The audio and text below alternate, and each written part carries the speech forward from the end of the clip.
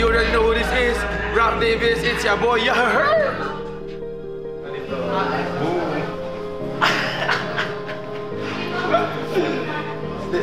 Shoutout sa utol ko, man. Shoutout sa utol ko. Nasa langit na siya, man. Thanks for watching us out.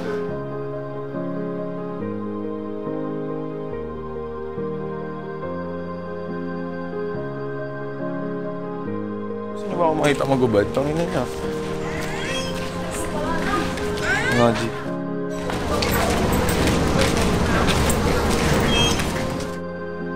Yo, it's your boy Rap Davis nga pala. Alam mo na kung sino to. Yeah, her, her. So yo, gusto ko lang sabihin sa inyo na sana safe ang lahat. At saka the fact na napapanood mo tong vlog ko ngayon, itong video ko ngayon, ibig sabihin okay ka ngayon. So, very good. Stay that way. Wear your mask. Lagi mag-alcohol. So yeah, ginawa ko tong video na to kasi uh, marami talaga nagtatanong sa akin kung paano ako pumayat, anong mga ginawa ko, bakit ako biglang pumaya, why sudden lose weight, bakit biglang nag-change yung physics. So yeah, uh, gusto ko lang sabihin na itong mga pictures na kasunod, mga videos ito, ito yung mga ginawa ko simula January 29. Kasama ko yung coach ko, si Coach Daryl Gonzalez. Shoutout sa'yo.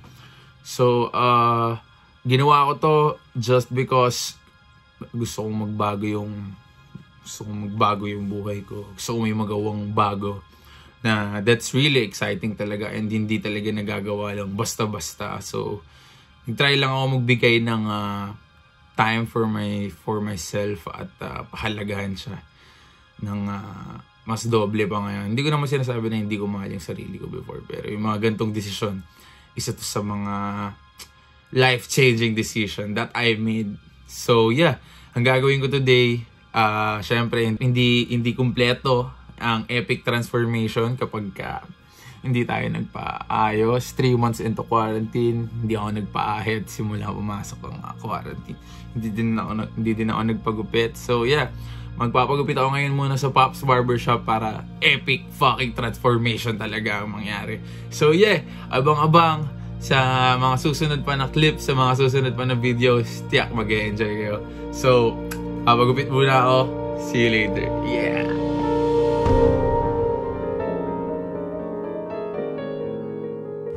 Davis nga pala. Sa ngayon, 13 weeks out pa lang ako pero pagkatapos ng vlog na to, papakita namin sa iyo yung kaya gawin ng 13 weeks out with Coach Darren. Waro!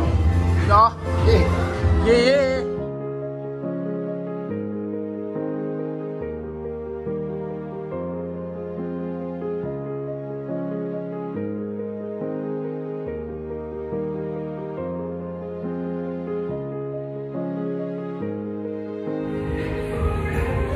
Braso ko dyan kahit naka ano.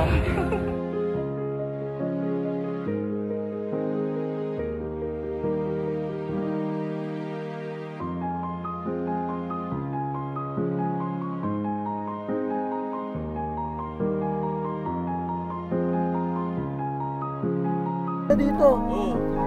Bukas ka mo bukas. Oh, bukas, bukas, ano? Campaign na tayo bukas.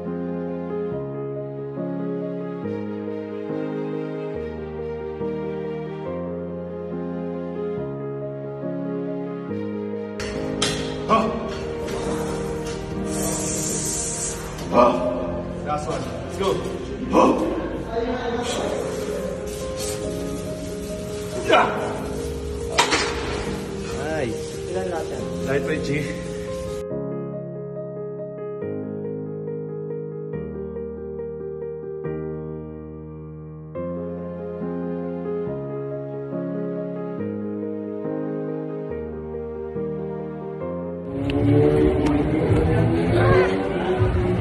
Argarjo, what up? Sana ayos ang Sunday ng lahat. Tangina. Grabe to, nabibiga oh. Mm. Mm, pawis. Mm. Mm. Bigay pa natin ulit. Yeah. So basically, mga pinopost ko dito sa Insta ko, ah, actually, dito sa 13 weeks out, wala naman, wala namang something na special, pero pinapakita ko sa inyo yung progress ko mismo. Puta mga dati, hindi ko ito ginagawa. Mga gantong oras, tulog pa ako, pero kanina, 10 ako gumising para mag-prepare ng food kasi nagpunta ka agad ako dito ng gym. So yun, tapos na ako mag 1 hour cardio. Pinipiga ako na lang to ngayon. Yee!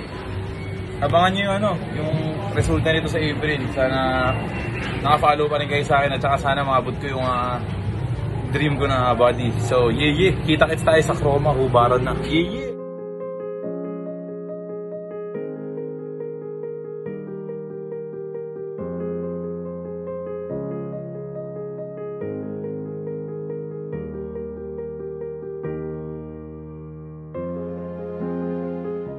So yun, kakatapos ng fasted cardio ko ulit. Oh, kung pumapayat na ba?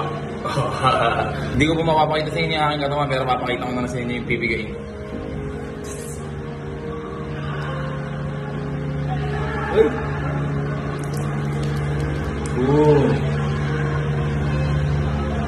Ah, dati hindi ko ito masyadong ginagawa pero ngayon ina-advise ko na siya nagawin niyo kasi medyo free din siya.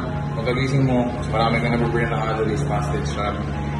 Tapos, ah, mas convenient siya lalo na pwede ka mag-workout sa umaga, cardio sa umaga, tapos workout sa gabi. Pero prep is life kahit nasa gig. What's up? Bakit ka na kayo na? Bakit pa rin yan?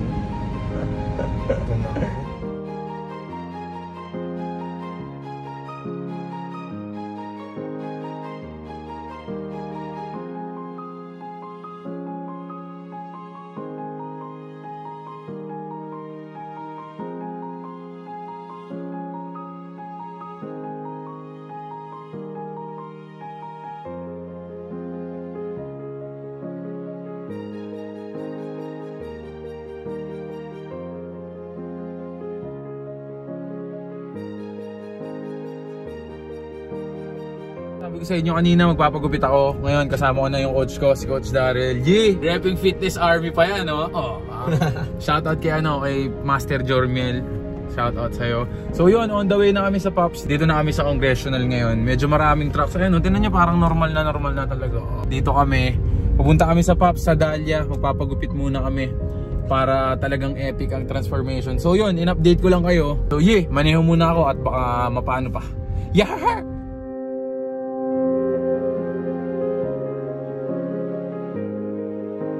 Main event, talagang pang epic transformation na to. Banata mo na. Banata mo. Yolok na yan.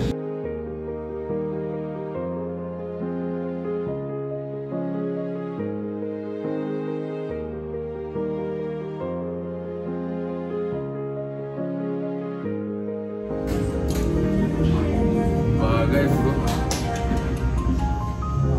Bagay.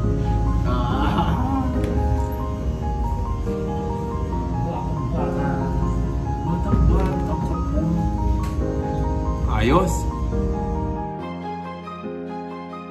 Yo, so ayun na nga. Anong oras na ba? Time check, vibe check muna tayo. Time check, vibe check, 6.09 a.m. Mag-workout kami ngayon. Kasama ko si Coach, syempre. Tapos kasama ko din si Yui. Punta na din kami sa gym. Dinaubos na yung kape. Mag-workout kami ngayon. Samahan nyo kami. Maaga pa kaya medyo wala pa tayong energy. Mahina pa maririnig tayo ng mga kapitbahay. Ano yan? Kasi sabi nila ito daw is safe eh, di ba? Di ba? Safe pa. Ba't ka ka? Tama. Tama ba? Blue ang nasa loob. Mm. Tapos si Shift. Ba't ako blue ginagamit ko sa labas? blue ba yung nasa labas Alam ko, dapat? ewan ko. Alam ko blue. Di ako sure eh. Okay, sige. Tama. So nag-contemplate kami kung ano ba yung tama. Blue ba dapat ang nasa labas o yung puti? So, ito ganito natin gagawin. Ganito ang proper na pagsuot ng mask. Okay, gaganyanin mo daw sa pi- ipipinch mo daw sa ilong mo para hindi siya nahuhulog. Kasi meron pag- dyan parang line eh. Para pagpango. Pagpango, walang sasampayan. So, di ko alam paano iikot mong ganyan na lang dito sa dulo. So, yeah. Ah, ganyan, ganyan magsuot. So, inuulit ko, pa-comment down na lang kung ano yung tama. Kung puti ba yung nasa labas o blue yung nasa labas. Pero nabuyo nila ako so blue na lang yung nasa labas. Kung ito yung tama, edi mali ako. Yun nga, pupunta kami sa Maximus din in a few. May appointment kami. 7 a.m. kami dyan. GG!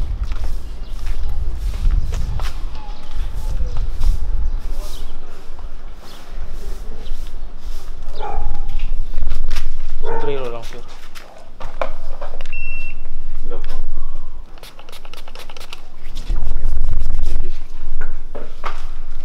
Kami.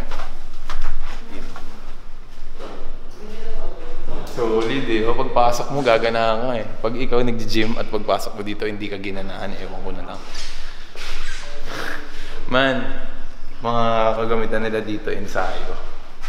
I think Maximus is powered by ensayo. Solid, di ba? Tara.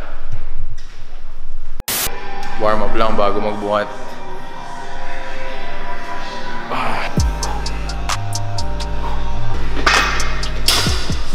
Ka-gym natin dyan, kapag gumamit kayo ng dumbbell, after nyo gamitin yung dumbbell, ibalik nyo sa rack. Makakatulong yun sa lahat ng nag-gym. Bench press.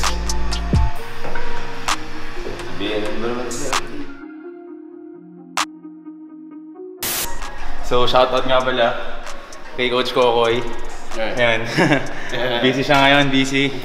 Good morning, Coach. Para sa vlog ko lang, Coach, sama ko ha. Si Coach Kokoy. They own this place.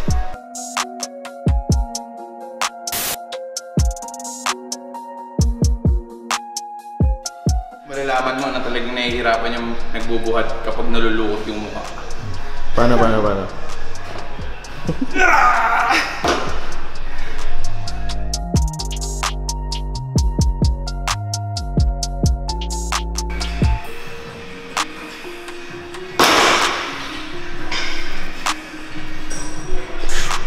Welcome to the grind, bro.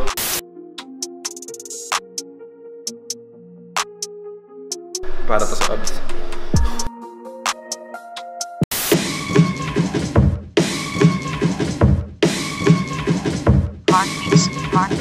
Pasa mo sa kanan at sa kaliwa Iikot ang papel, bilangin ang papel Sa kalye lumaki, kaya walang pake Magdamag ang hustle, araw o gabi Pasa mo sa kanan at sa kaliwa. Iikot ang papel, bilangin ang papel. Sa kalye lumaki, kaya walang pake. Magdamag ang hustle, araw o gabi Subok sa kalakaran. Pasado at minarkahan Diploma sa paaralan. Pababaan yan ang galawan. Paglago di tatantanan. Uso dito hatakan. Walang urungan. Bitbit sarili ko Wala tong kargo. Pagsak ka enkwentro Ito sigurado So yun na nga, nakita niyo ang aking transformation. Simula January 29 hanggang ngayon June 12. So yun ang nagawa ko sa ilang buwan. At during quarantine. Ah, gusto ko magpasalamat unang-una sa Panginoon syempre sa paggabay sa akin sa mga pinagagawa ko na to kasi bodybuilding was really madali lang siya lalo na kapag meron kang coach ayan speaking of coach Daryl pag meron kang coach madali lang siya makikinig ka lang kasi basically if you have a coach na alam talaga yung ginagawa niya basically makikinig ka lang ang duty mo lang is sundin at pakinggan lahat ng sasabihin niya. So maraming salamat din Coach Daryl. Sa mommy ko, maraming maraming salamat. Minsan, guys, ah, nagawa ko tong bodybuilding, nagme-meal prep ako pero minsan nalilate ako ng gising, di ako nakapag-meal prep. Yung mami ko yung gumagawa sa akin. So ma, shout out sa'yo dahil alam ko ako dapat yung gumagawa nun pero sinusuportahan mo lang ako. Sa dad ko din, sa pag-support sa akin sa mga pag-workout ko sa bahay namin, maraming salamat. Sa lahat ng sumubaybay sa account ko na at 13 weeks out, maraming salamat sa inyo. Kay Yui, behind ng camera.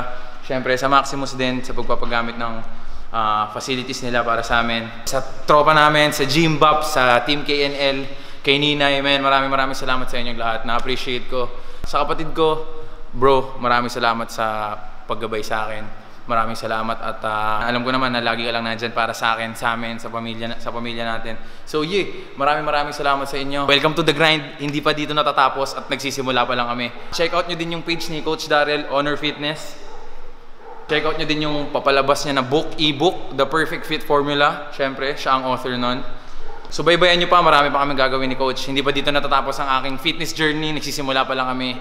Ah, strive for greatness. Mas marami pa kayong aabangan.